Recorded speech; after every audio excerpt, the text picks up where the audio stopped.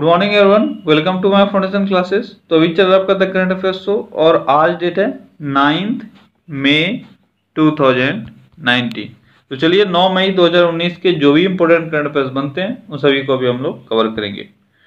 तो आज का आपका पहला क्वेश्चन है कि हाल ही में किस उच्च न्यायालय ने ज़ीरो पेंडेंसी नामक पायलट प्रोजेक्ट आरंभ किया है? ज़ीरो पेंडेंसी नामक पायलट प्रोजेक्ट किसने आरंभ किया है? ये आरंभ किया गया दिल्ली उच्च न्यायालय के द्वारा। कौन सा प्रोजेक्ट ज़ीरो पेंडेंसी नामक एक पायलट प्रोजेक्ट। अगला क्वेश्चन है निम्नलिखित में से किस देश में जी सेवन शिखर सम्मेलन आयोजित किया जाएगा? जी सेवन शिखर सम्मेलन। जी सेवन शिखर सम्मेलन कहाँ आयोजित किया जाएगा? ये किया जाएगा आ, कौन से देश में? ये किया जाएगा फ्रांस में। जी सेवन शिखर सम्मेलन कहाँ किया जाएगा? फ्रांस में। भारत को ऑस्ट्रेलिया, चिली और दक्षिण अफ्रीका के साथ जी सेवन देशों के शिखर सम्मेलन के लिए आधिकारिक रूप से आमंत्रित किया गया है, ठीक है? इस सम्मेलन का आयोजन 24 से 25 अगस्त 2019 के दौरान फ्रांस के बिया रीड्स में किया जाएगा। कहाँ किया जाएगा? बिया रीड्स ये जगह आप याद रखना बिया रीड्स ठीक है? बिया रीड्स बिया रीड्स ठीक है? फ्रांस के बिया रीड्स में इसका आयोजन किया जाएगा। कब? तो ये किया जाएगा 24 से 25 अगस्त 2019 में। अगला क्वेश्चन है कि हाल ही में किस भारतीय राजनेता ने अमेरिकी राष्ट्रपति डोनाल्ड ट्रंप को पछाड़ते हुए विश्व में दूसरे सबसे अधिक ट्विटर फॉलोअर बनाने का रिकॉर्ड कायम किया है? तो कौन से वो भारतीय राजनेता हैं? तो वो है नरेंद्र मोदी।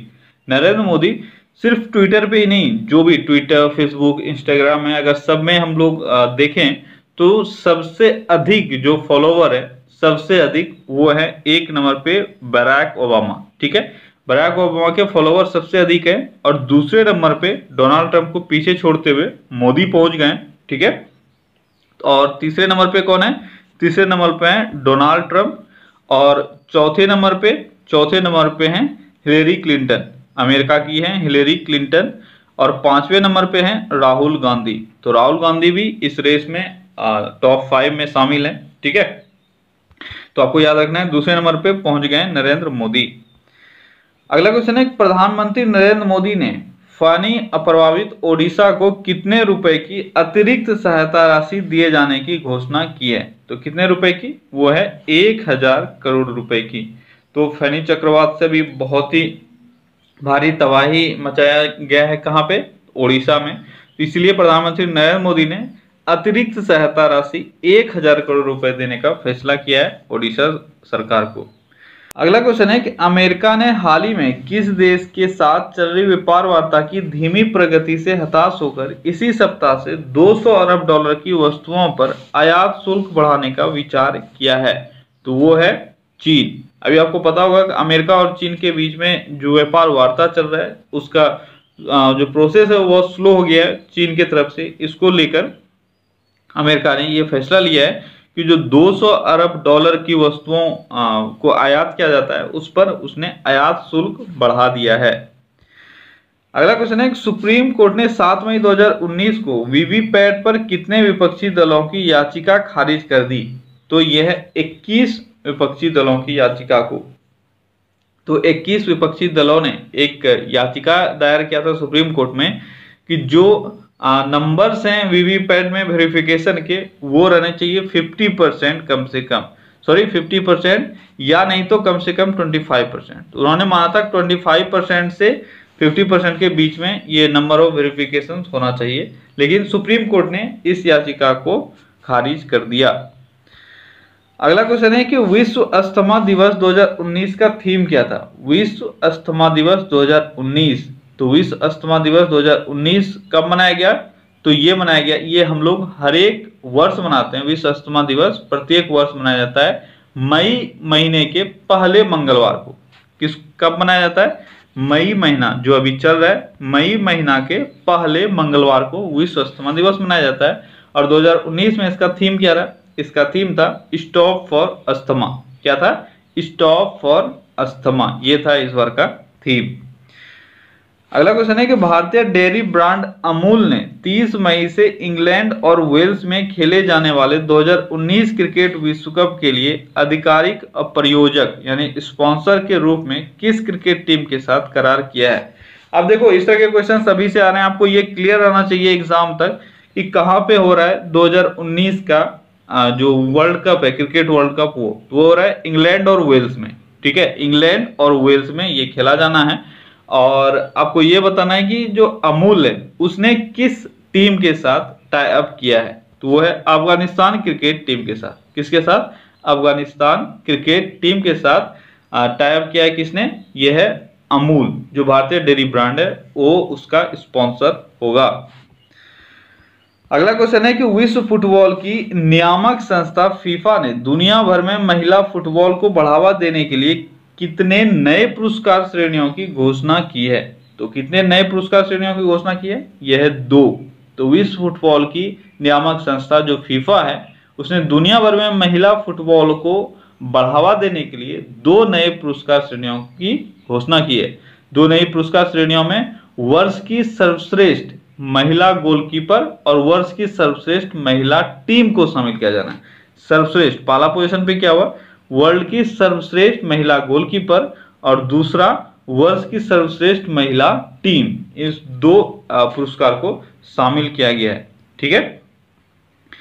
अगला क्वेश्चन है कि बालू खनन और गंगा को पानी पहुँचाने वाली प्रमुख नदियों पर आगामी बांधों के विरोध में एक सौ चौरानवे दिन के उपवास को किसने तोड़ा? तो अभी आपको पता होगा कि एक सौ चौरानवे दिन से उपवास चल रहा था। किसी एक शख्स का किस चीज़ के लिए? तो बालू खनन और गंगा को पानी पहुँचाने वाली प्रमुख नदियों पर आगामी बांधों के विरोध में, ठीक है? तो वो कौन से शख्स हैं जिनका अभी जिसने अभी अपना अनशन तोड़ा एक सौ चौरानवे दिनों के बाद। वो है स्वामी आत्मबोधानंद। कौन है? स्वामी आत्मबोधानंद। ये हरिद्वार में है।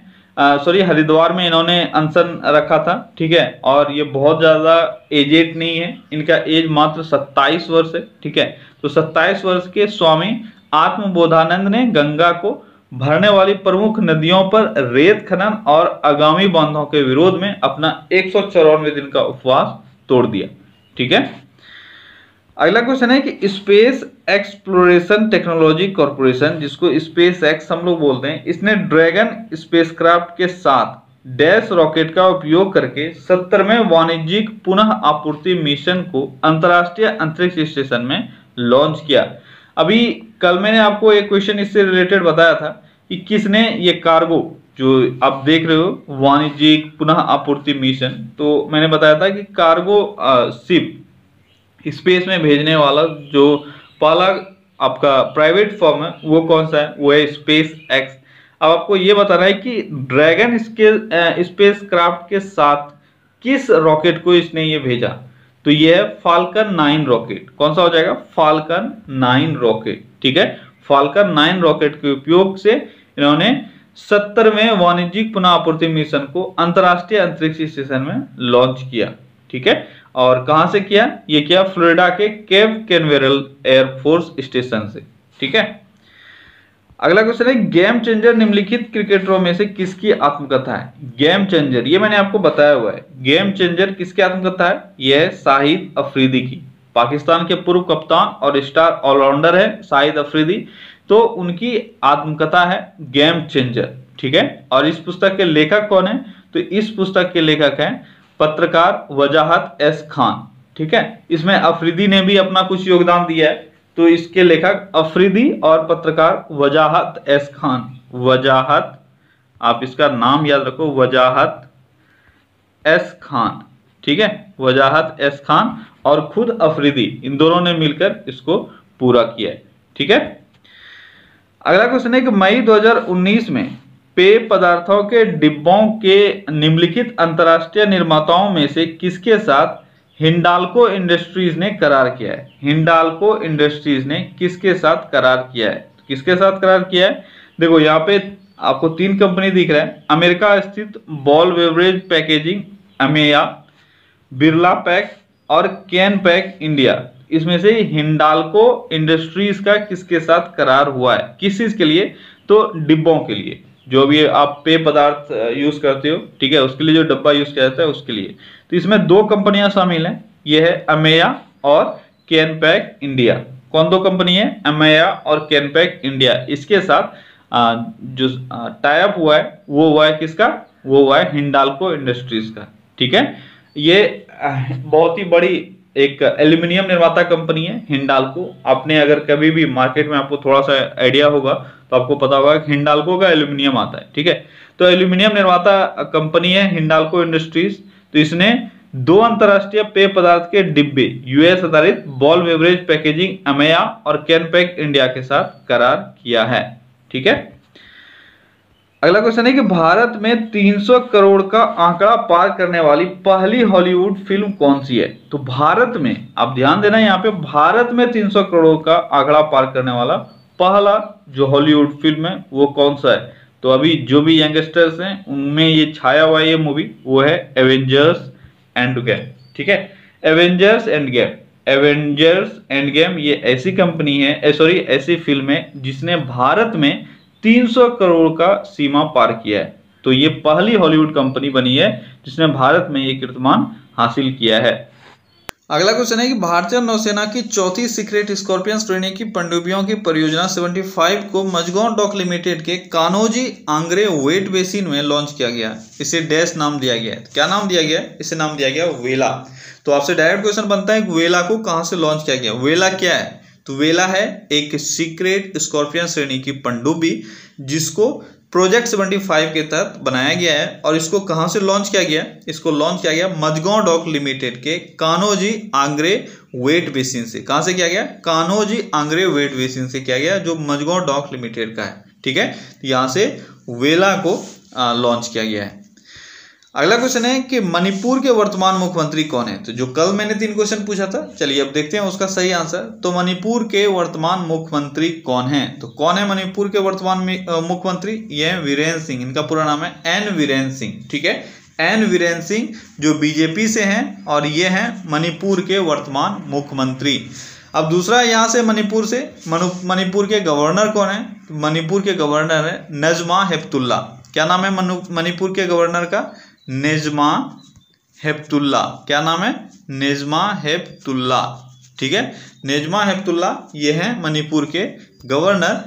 और मणिपुर में अगर राज्यसभा लोकसभा सीट का बात करें तो मणिपुर में राज्यसभा के सीट कितना है? तो मणिपुर में राज्यसभा सीट है एक और लोकसभा सीट कितना है? लोकसभा सीट है दो। ठीक है? बहुत कम है। तो राज्यसभा में कितना सीट है? एक और लोकसभा में सीट है दो। ये है मणिपुर का लोकसभा राज्यसभा का सीट। और मणिपुर बन के स्टेटहुड का दर्जा मणिपुर को कब मिला? तो मणिपुर को स्टेटहुड का दर्जा मिला है उन्नीस सौ बहत्तर में। कब मिला है? उन्नीस सौ बहत्तर, इक्कीस जनवरी उन्नीस सौ बहत्तर। इक्कीस जनवरी उन्नीस सौ बहत्तर को इसको स्टेटहुड का दर्जा प्राप्त हुआ है। और मणिपुर का कैपिटल कहाँ है? मणिपुर का कैपिटल है इम्फाल। ठीक है? अगला क्वेश्चन है कि मेघालय के वर्तमान मुख्यमंत्री कौन है? मेघालय के वर्तमान मुख्यमंत्री कौन है? ये है कोरनाड संगमा। क्या है नाम इनका? कोरनाड संगमा, जो एनपीपी पार्टी के हैं। NPP party national people's party ठीक है? National people's party of India ये एनपीपी पार्टी है और इसी के हैं कोरनाड संगमा, जो भी मेघालय के मुख्यमंत्री हैं। एनपीपी का गठन कब हुआ? ये 2012 में हुआ है और पी ए संगमा के द्वारा इसका गठन किया गया है। ठीक है? मेघालय के राज्यपाल अभी कौन है? तो मेघालय के राज्यपाल हैं तथागत रॉय। क्या नाम है इनका? तथागत, ठीक है, तथागत रॉय। तथागत रॉय इनका नाम में जो मेघालय के राज्यपाल हैं। और मेघालय अस्तित्व में कब आया? मेघालय अस्तित्व में आया 21 जनवरी उन्नीस सौ बहत्तर। तो 21 जनवरी उन्नीस सौ बहत्तर को अभी आपने देखा, मणिपुर भी 21 जनवरी उन्नीस सौ बहत्तर को अस्तित्व में आया था और मेघालय भी 21 जनवरी उन्नीस सौ बहत्तर को अस्तित्व में आया। और इसका कैपिटल कहाँ है? इसका कैपिटल है शिलोंग, ठीक है? कहाँ कैपिटल? शिलोंग। और लोकसभा, राज्यसभा का सीट का अगर बात करें तो लोकसभा में मणि, मेघालय से कितना सीट है? मेघालय से दो सीट और राज्यसभा में मेघालय से कितना सीट है? यह है एक सीट। तो मणिपुर में अभी आपने देखा था, लोकसभा में मणिपुर में भी दो सीट और राज्यसभा में एक सीट। ठीक उसी तरह से मेघालय में भी लोकसभा में दो सीट और राज्यसभा में एक सीट है। ठीक है? चलिए बढ़ते हैं आगे। अगला क्वेश्चन है कि मिजोरम के वर्तमान मुख्यमंत्री कौन है? मिजोरम के वर्तमान मुख्यमंत्री कौन है? ये हैं जोराम थंगा। क्या नाम है इनका? जोराम थंगा। तो मिजोरम, जोराम, यहाँ से थोड़ा सा आप लिंक रख के याद रख सकते हो, अगर आपको याद नहीं हो रहा है तो। ठीक है, ये नाम याद रखना थोड़ा सा आसान है, क्योंकि मिजोरम, जोरम लास्ट में आया और जोराम थंगा से इसका स्टार्ट होता है, जोराम से। तो आपका याद रखने में आपको आसानी होगा। तो मिजोरम के वर्तमान मुख्यमंत्री कौन है? जोराम थंगा। और ये किस पार्टी से हैं? ये हैं एम एन एफ़ पार्टी से किस पार्टी से? M N F party Mizo national front ठीक है? मिजो नेशनल फ्रंट ये एक रीजनल पार्टी है मिजोरम का.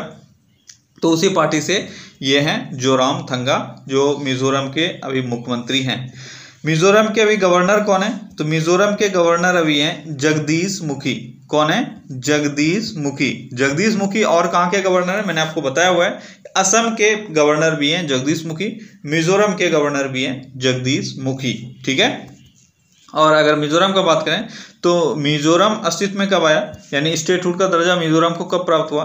तो ये हुआ 20 फरवरी 20 फरवरी उन्नीस 20 फरवरी उन्नीस 20 फरवरी उन्नीस सौ सतासी को मिजोरम अस्तित्व में आया और देखो अगर आपको ये लग रहा है कि जो डेट मैं बताता हूँ, वो इम्पोर्टेंट नहीं है तो आप गलतफहमी कर रहे हो। आपको बहुत सारे डेट से क्वेश्चन पूछे जाते हैं, ठीक है? इसलिए डेट जो तीन स्टेट में बताता हूँ डेट आप अच्छे से याद रखा करो, ठीक है? क्योंकि आपको सारे का याद होने वाला है नहीं।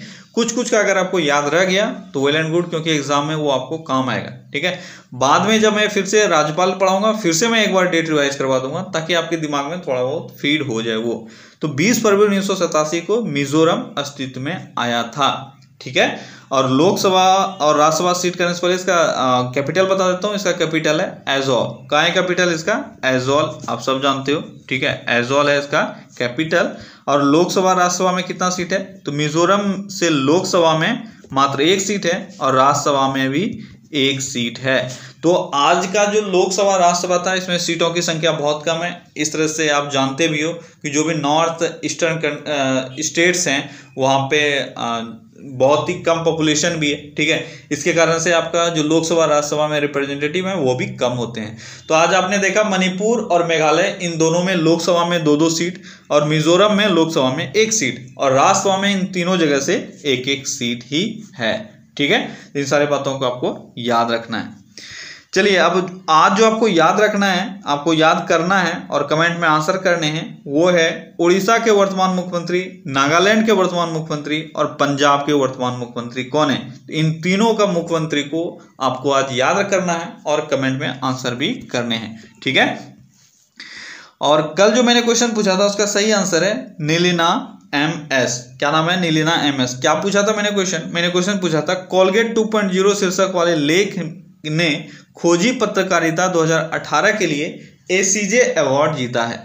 तो ये कोलगेट 2.0 ये किसके द्वारा लिखा गया है, ये आपको बताना था। यह नीलिना एम एस और आज का आपका क्वेश्चन ऑफ़ द डे है, जो आपको कमेंट में आंसर करने हैं, वो ये है कि किस देश के वायुसेना के जनरल टॉड वाल्टर्स को नाटो मिलिट्री अलायंस का सर्वोच्च सैन्य अधिकारी नियुक्त किया गया है? नाटो का सर्वोच्च सैन्य अधिकारी किसको नियुक्त किया गया है? यह है टॉड वाल्टर्स को। ये किस देश के हैं? ये आपको कमेंट में आंसर करके बताना है, ठीक है?